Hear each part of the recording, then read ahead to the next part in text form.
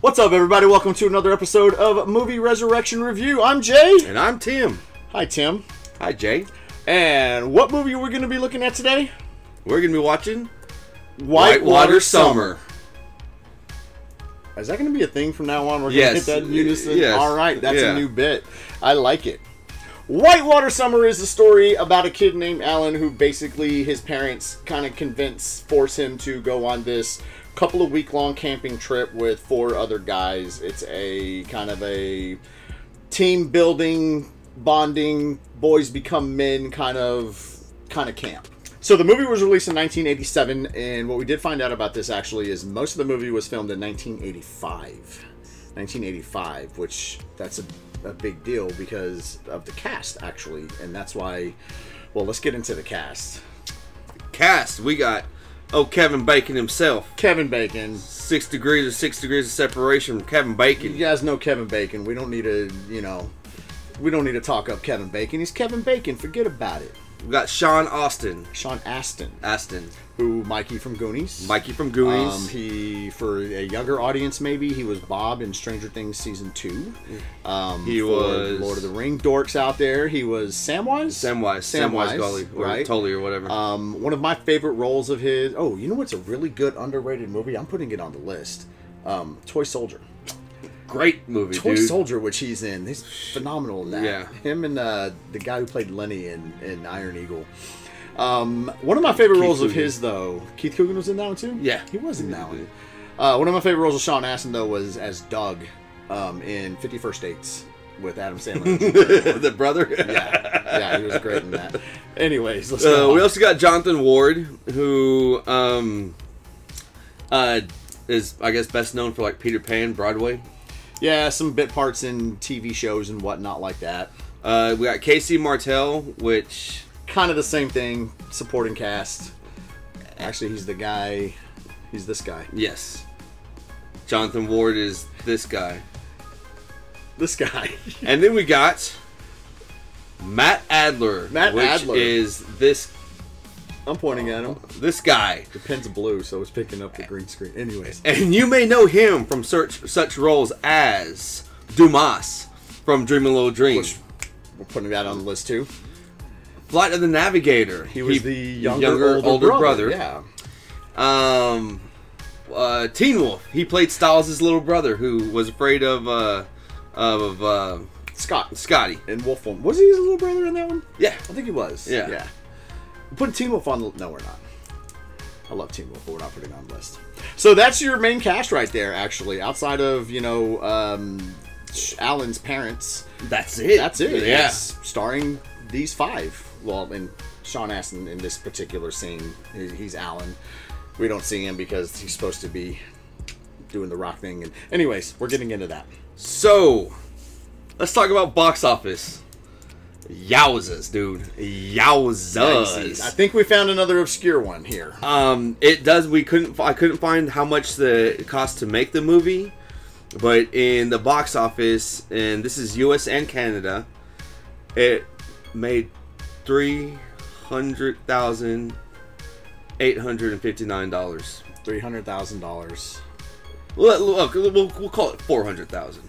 I mean, not even close. No, to it's not even close. 400,000. My bad. That's that's closer to three hundred I, for, I, forgot, I forgot how to math. Yeah, you did. Yeah, so three hundred thousand dollars it made at the box office. And again, we said it in the last episode, but I really wish that we could find information on uh, home video release and rental release because maybe it made a lot more in that regard. Maybe I don't know. I don't know. I mean, mm, I don't know. Hopefully it did. Otherwise, that was a big loss. That's the lowest anything's made at the box office. You know, is it? That we've done so far. Yeah. Yes, that's the lowest box office. Even Kid Colter did better. No, we couldn't find information. Yeah, we couldn't find nothing on Kid Colter. Like, but nothing. yes, okay. So that are that's the uh the specs, The the statistics of it. Let's get into the movie. let's get into the movie. Movie starts big city. I think it's New York. We see Vic, and he is heading over to Alan's house to talk to his parents to basically convince his parents to let Alan go on this camping trip. Now, throughout the movie, uh, we're being narrated by Alan. who is Mikey from the Goonies, and this is where Sean the Astin, this is- Sean Astin. This is where the the the two year difference of shooting most of the movies and the commentary come into play because he's telling the story as a little bit older, and it just works really well. Works really well.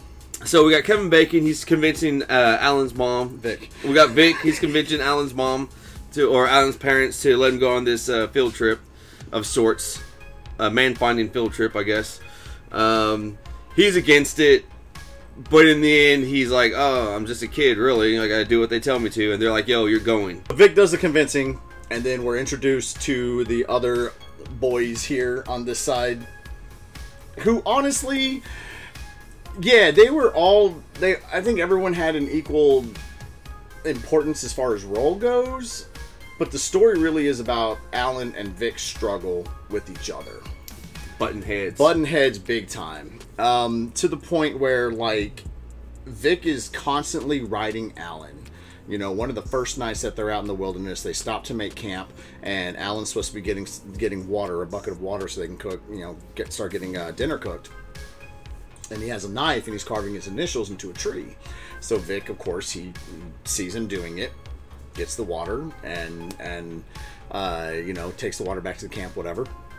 And then after they eat, Vic is sitting here telling the story about this this celestial god. You know, that's a uh, what do they call the the star things in the sky? Um, constellations. constellations. Constellations. Constellations. Yes. And he goes through this roundabout story just to be like, oh, by the way, Alan, um, I caught him uh, carving his initials into a tree. Group, how do you think we should punish him? And someone suggests that they take his knife away for a little bit. Um, we'll take it away, and then someone was like, "We'll take it away, but we'll give it back a little bit later." And it's it's kind of funny because Vic is like, "Alan, do you think that's fair?" it truly is you know while he's writing him it truly is like trying to teach him some sort of responsibility and and being grown up so the message is actually there in my opinion from the beginning yeah, I some think. value, some some stuff that you can actually use for later on in life to be a good person. good way to good way to put it some values yes Yes. So now they get up the next day and the boys are carrying this canoe. Alan's not carrying the canoe. And they get down to the waterfront, the riverfront, and Vic is like, All right, um, I'm taking the canoe down, and you guys meet me at the designated rendezvous point. Um, Alan, you're coming with me. Which point, one of the other boys gets a little upset, and he's like, Dude, I thought it'd be me. Right. But again, though, I think this is Vic recognizing that Alan is the weak one in the group, Needs the most help. needs the most help, right? And I think the intent with Vic was good because Vic's not a bad guy No. yet. Yeah. yeah. At this point, he's not a bad guy yet. And I, I really do. I think he was really buying into and believing, hey, I need to help this kid out. You know, he needs the most help. He's he's the youngest. He's the smallest. He's the weakest. Um, you know, even even maybe mentally, not not as developed as the rest of them yet. You know, so this is another learning lesson for Alan, and even Alan is shocked. He's like, me, like, what do I know about Right. this kind of thing? You know. So they take off down the river. and it's whitewater rafting, and Vic. Vic is is being the the steerer and the paddler pretty much. He uh, Alan loses his oar, and he's just like, "Oh man, what's going on?" You know, and it's it's the dude's scared. The dude gets scared because he's never been on a on a on a uh, canoe before. First off, if you've never been on a canoe before, don't go whitewater rafting. Yeah, you don't whitewater rafting on a canoe, and that that was Vic's bad in my opinion. Yeah. that was that was Vic. Maybe maybe maybe he was being a dick. Actually, That's like trying to teach a kid how to swim, grabbing him and throwing him in the deep end, and be like, survive. Yeah, you know. of. And and he he took it that way. That's exactly how Alan took it. He's like he's like you did that on purpose. You tried killing me. You know why'd you do that? And Vic, he's like they made they make it down the river. And Vic's like, oh yeah, you know, Yeah. It's, it's a rush to him and everything else, and he's expecting Alan to be, be like copacetic, be like, oh that was great, but no, Vic takes it as a as a personal assault on him. Alan took it. Oh, as a- Alan took yeah. it as a personal assault on him, and this is Because well, e- even even Vic was like, "Dude, you did it. Like, Yeah, yeah, You you survived this. Like that's that's legit." I think this is the first time we see Vic like recognizing there's going to be a, a major issue Major issue with yes. with with them butting heads later on down the road. and and and it, it continues like this is the thing. It Just but continues the steadily. entire movie steady. Steadily, he Right. he gets a little bit. Uh, Vic gets a little bit sterner and and more outrageous with his his his punishments Mm-hmm. and what he wants Alan to do, and Alan gets a lot more uh, uh, Stubborn. stubborn. and uh, bucking the system. Yep. and it culminates. There are times where stubbornness is a good quality. Mm-hmm. This ain't one of them. Nope. this ain't one of them. at the end of the day, Alan's gonna lose. Sure. Alan's gonna lose, you know, just by by sheer proxy of yo, this dude's bigger than you. Next point of controversy is the rope bridge. Controversy, conflict. conflict, conflict, controversy, kind of the same thing, right? The next point of conflict is the rope bridge, and I'll actually be telling a story about one of these from my Boy Scout days at the end of this. Trying to do a story at the end, right? So this rope bridge is literally that. It's a bridge made of rope, and it has uh, boards on the bottom. I was gonna say two by fours, but they're more like one Planks, by sixes. like, yeah, something. planks, yeah. Um, and you've got to, you know, get across the rope bridge, and where this becomes an issue is, you know, Alan's scared, but the other guys are scared too. You know, and he even says in, in you know, Vic talking about, you know, being responsible and whatnot, he tells the guys, he's like, hey, do me a favor when we're out here. No messing around. Mm-hmm. Like, this is serious. Because you fall off this thing, you're dead. Right. You're dead if you fall off this thing. Well, Alan is carrying the tent poles for all the tents. Not, oh, sorry, not all the tents, for one of the tents. And the poles get left behind. So he winds up the three, the four, four guys you see in the picture. Actually, they wind up crossing First. first, and Vic tells them, "Hey, we're gonna go to camp. It's a mile down the way. It's very easy. Just follow the trail. You can find us, no problem. Come over when you're ready." Recognizing that he's scared, you know, not trying to force him anything like that. Um, I don't know that walking off was the right answer, but so Alan winds up crossing, gets to the camp, and one of the guys is like, "Where are the tent poles?" And Alan realizes, "Ah, shit! I left the tent poles behind." He's like, "Well, where are they at?" He's like, "Other side of the bridge." So it's okay. Go get them. You left them. Go get them. That's reasonable. Nothing wrong there, right? So Alan gets back to the bridge. He tries to cross back over to get the tent poles, and he, he just can't do it. Like the, the fear is has set in. He, he cannot do it. So he goes back to the camp, and he's like, "Hey, uh, tent poles weren't there. They're they're gone." And I think someone even says, "What? They just get up and walk off?" well, Vic had tailed Alan, and immediately after he's like, "I don't know where they were. They just weren't there." He drops the, the tent poles and is like, "You're lying. You were scared. You didn't go across the bridge. I was there. I saw you." At which point, Alan's like, "Wait, you were watching me?" You know, it's kind of a valid like, "Hey, that's weird." Right. So basically, the lesson here was like, you got to stop lying. You got to stop lying to us. You know what I mean? Like, be honest. It's okay to be scared, whatever kind of thing. Just let us know, and and we, we can help each other. Right. Next point of conflict. Is this radio, dude? This radio gets Alan into a little bit of shit, dude. Like he's trying to listen to a, a Yankees game or whatever, and Vic justifiably is like, "Yo, this is we're getting back to nature. No radios, no none of that stuff. You know, we're catching fish with our bare hands. We're starting fires with a a bow and stick. You know, that type of stuff.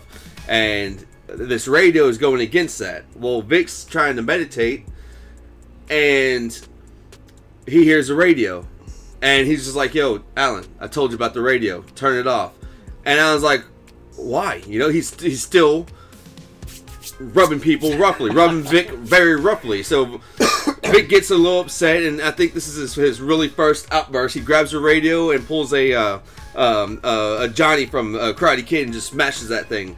Bam! To which he sternly says no radio. He's- Yeah, this is where this is where Vic, for the first time, is like, "Hey, you're pissing me off. I'm letting you know you're pissing me off. Stop pissing me off." right Right.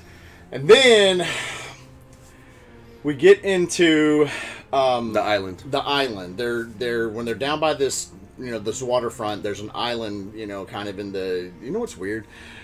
It looked like it was a lake With just an island in with the an middle. island in the middle, but it should have been a river. Shouldn't it have been a river?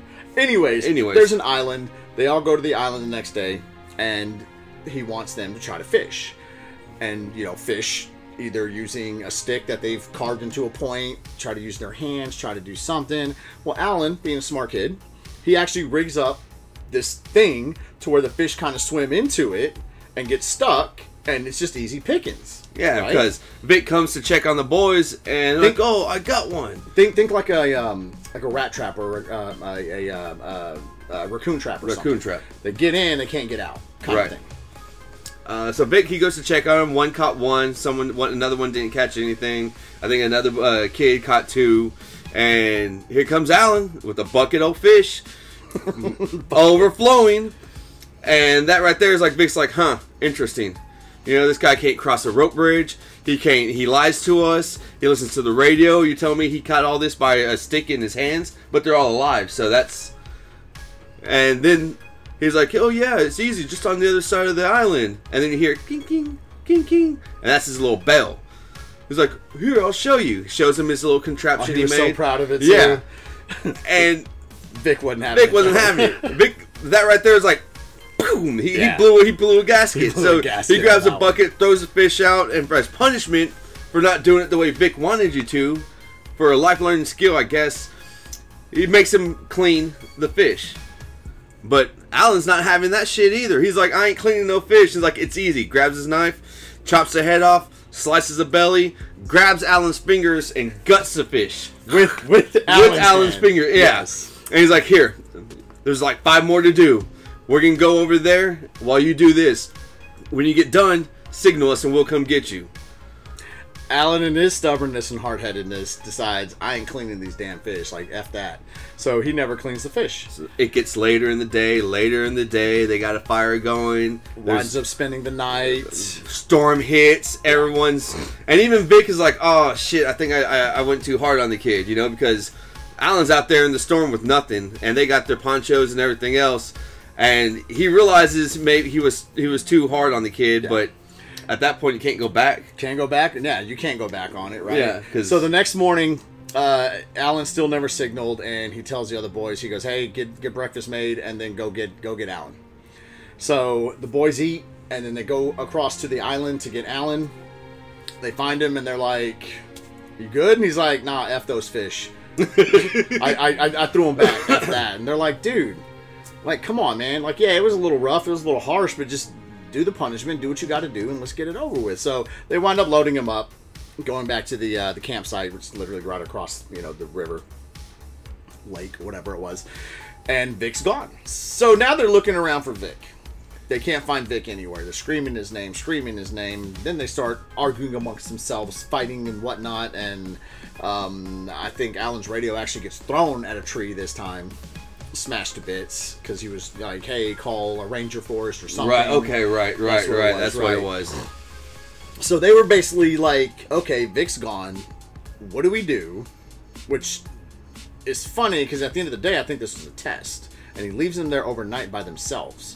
And a big storm hit, a bigger storm hit that evening, and it was like, "Hey, you guys have been with me over a week. Let's see what you got." They didn't know it was a test. You know, when he comes back, they're like, "Where the hell were you?" He's like, "It doesn't matter. You guys survived. You did it without me." He's he's teaching a lesson, but it's just kind of done in the wrong way. And that this this is the point where Alan is special. Well, Alan already hates him at Yeah. this point. This is the point where some of the other guys are like, "Okay, wait, wait a minute. That's a little, you know, It's a little rough. It's a little rough, a little weird. That you, yeah, a little extreme that you left us out here with no help and no whatever. But he plays it up. You guys, you, you did it. You did it. You guys survived. You didn't need me. You did it on your own. Blah blah blah blah blah. Good job. And they're kind of like, all right, yeah, all right, good job. You know. So now fast forward to it's not the last conflict, but close, right? Yeah. The uh, as you can see in this scene behind us, this is where they are uh, rock. They're climbing a climbing. mountain, and they come to a point It's where called they Devil's Tooth. Devil's Tooth, I think. Yeah. Yeah. I think that's right. Come to a point where they can't just like climb. They gotta like rappel over. Okay, so Vic climbs up. He sets his fucking anchor points. Comes down. Boom. He's the first one over. Then the second guy, third guy, fourth guy. The last guy left. Oh, Alan, baby. Oh, Alan. So Alan, he's like, oh man. So he he gives it a uh, he gives it a go. He tries his best. Ends up falling short, and they couldn't grab him. Right. Well, and he can't make it quite back to the other side, so he ends up doing the dangle maneuver. Yeah. We get stuck in the middle, right? And everyone's like, yo, go get him, go get him. And Vic's like, nah, nah. He can do it. He can get himself out of this. Tells him how to do it, you know? And then he's pretty much like, you know what? To Vic's credit, let me interject right here. To Vic's credit, he was like, he's not going to learn anything if I just go bail him out. Right. Alan, listen to me. Here's what you need to do. You can do this. I know you can do this. Do these things. And Alan just wouldn't do it. Right. Now, Alan's sitting here dangling on a freaking cliffside, hundreds of feet up in the air. He's scared as hell, so I get it. Right. So Vic just had enough. He's just like, you know, he's not listening to me. He's like, you know what? When you get ready, you can get onto this other side. We're, we're booking out. So everyone leaves him. And right here, you got two or three of, I, I guess everyone but Vic is like, man, that's messed up. You know, Yeah. but but they follow Vic because they're a bunch of followers. So Alan reaches deep down in his crawl, and he's like, "Man, I'm gonna get up out of this thing. I ain't settling." Ends up kicking himself, getting bouncing off the wall, gets his footing, climbs back to the other side, and he's like, "Well, screw this!" Ah! He swings, makes it, bam, unties himself, meets up with them, and at this point. All the other kids are like, "Oh, good job!" And he's like smacking their hands away. He's fucking had He's enough. pissed, yeah. He's he's like, man, that was some bullshit, Vic. You fucking left me out there to die. Screw you. I'm going home. Yeah. And Vic's like, you can't go home. And the other boys are like, no, Vic, that was fucked up. We're going home too. Finally, the other boys, for the first time, say something and stick up for Alan. At this point, Vic is is seeing that that it's it's getting away from him. You know, the the the reign, the control is getting away from him. So he's like, "Y'all aren't going anywhere. Fuck that shit." Okay, and actually gets to a point where he starts chasing Alan and the other boys, or Alan really, and the other boys go after Vic because now like Vic's on this warpath. Yeah. Like the dude finally snapped. He said, "Screw you and your your antics and your your your your technology and and your your gizmos and components and and your whatever. It's not supposed to be like that." And he's lost control, and he's trying to get everything back to his control, but it's already gone. It's already gone. So he, he he's literally chasing this guy, fighting with another kid at the same time. They get into a fight. He ends up getting a rock thrown at his head. Bam! He falls off the cliff. And he's like, uh, uh, He, he snapped his leg in twine. in twine, in Twine. It's, it's poking out the the, Yeah. the the top of his leg and stuff.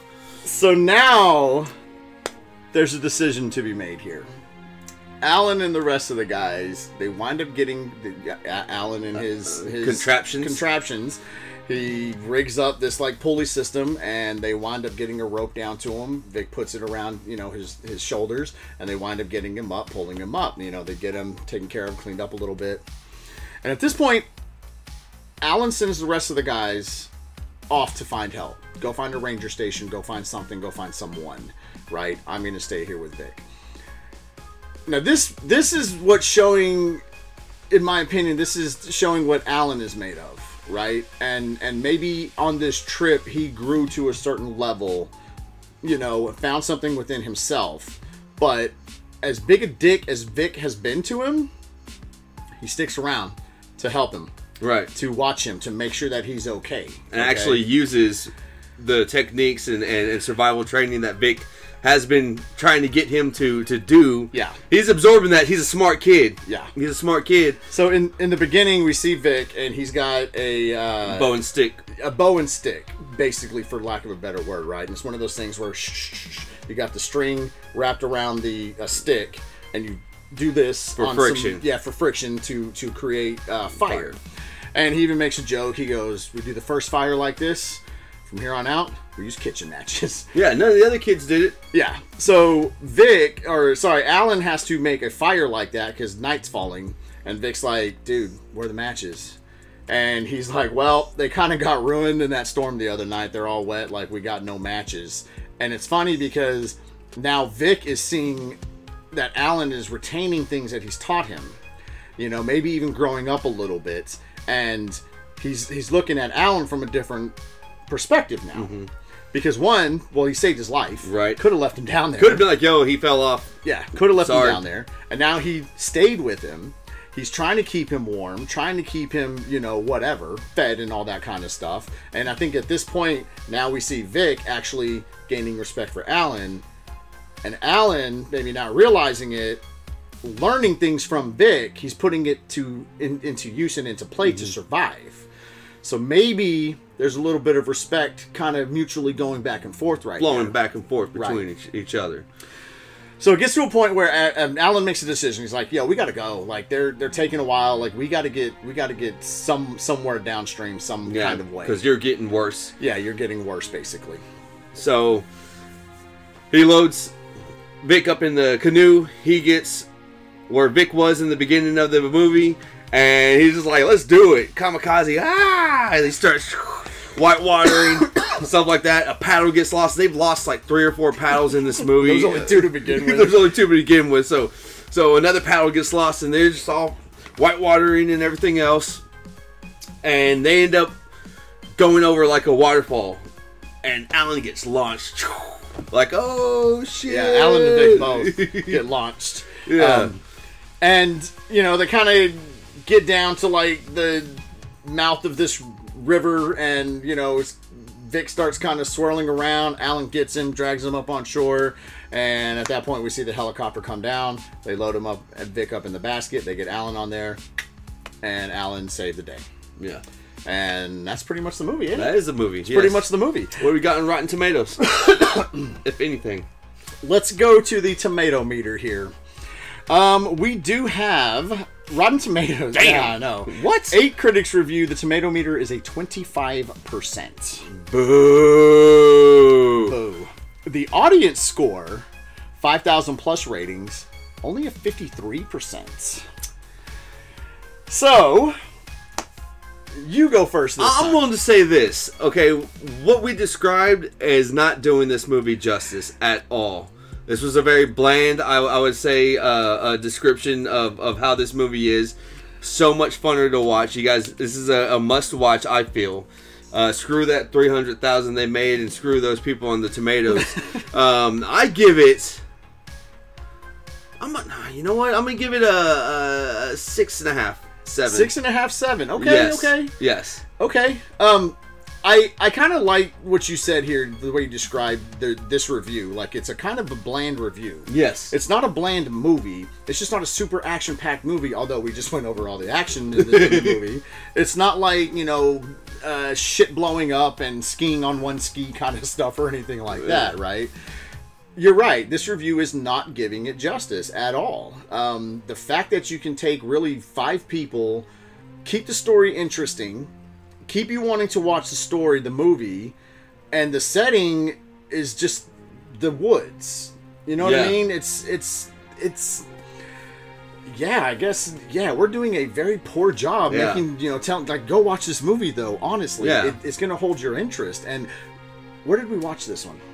This one was Tubi. Because I think we forgot to say that in the last one. Tubi, we watched this one. Tubi on this one, yes. Which, you know, Tubi, if you want to sponsor, we'll shout. We'll watch every movie on Tubi. Just saying. Um, the acting was good. I think Kevin good. Kevin Bacon's a great actor, and he was even then, in my opinion. Um, Sean Astin, pretty damn good actor too, and was even then. Yeah. I thought the supporting cast there wasn't you know any moments where I'm like, okay, you guys are just cheese dicks or anything like that. It was it was it was good. It was good. You gave it a seven.